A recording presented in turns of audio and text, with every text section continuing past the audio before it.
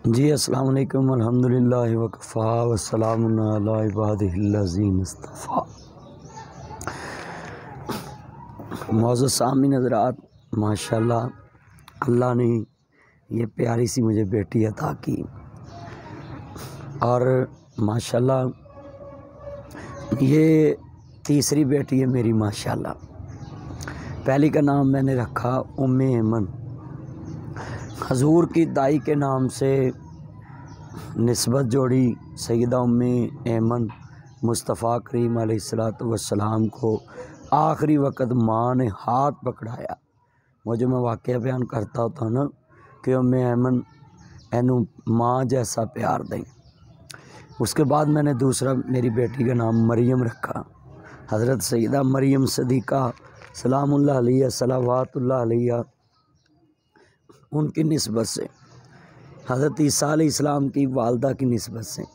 अब अल्लाह ने मुझे ये तीसरी बेटी दी, इसका नाम मैंने रखा अमा हलीमा सादिया की नस्बत से, इसका नाम मैंने रखा है हलीमा नासर।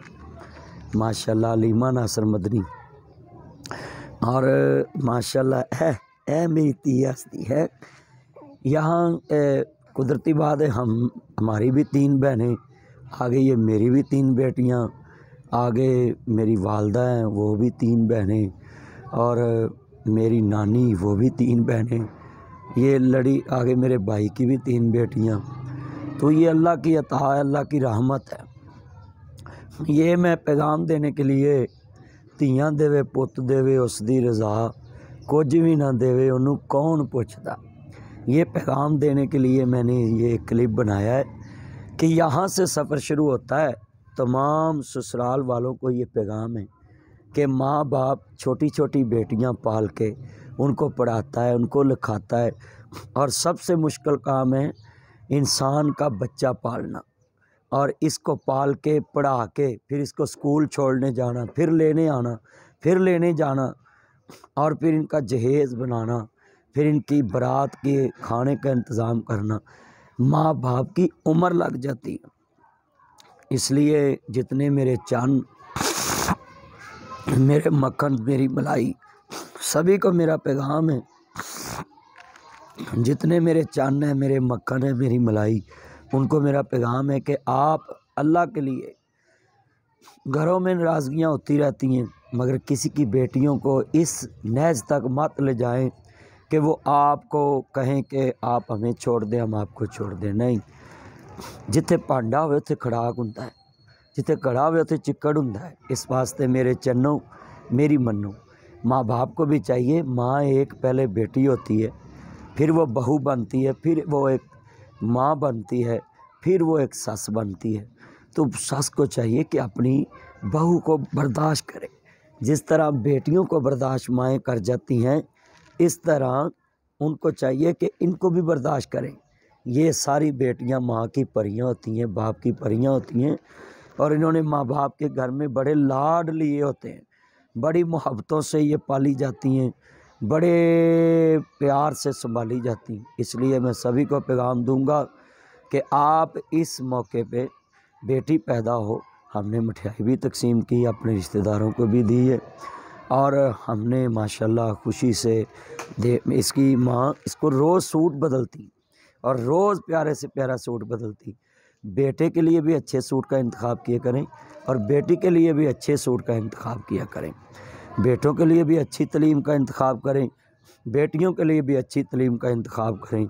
नबी करीम वसल्लम ने फरमाया, जिसने दो बेटियाँ पाली और उनकी रुखसती की और मेरे तरीके के मुताबिक उनकी तरबियत की तो मैं उनको जन्नत का टिकट देता हूँ। इसलिए मैं आप सबको मुखातब हूँ अपने चन्नों को, अपने चाहने वालों को कि आप भी अपने घरों में, अपने मगर अजकल के मुंडे, मैं वेख्या है, हॉस्पिटल च मुंडा पैदा हुए तो आपकी तबीयत कैसी है?